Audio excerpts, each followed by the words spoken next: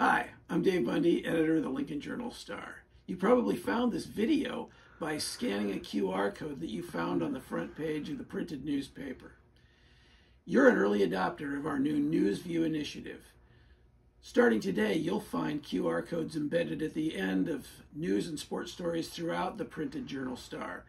If you scan those on your smartphone, you'll be taken to videos, galleries of photos, background stories, and other multimedia projects that will help put the news into perspective and deepen your experience with the Journal Star.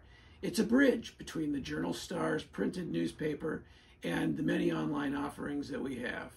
We look forward to you taking advantage of these QR codes. Thanks a lot.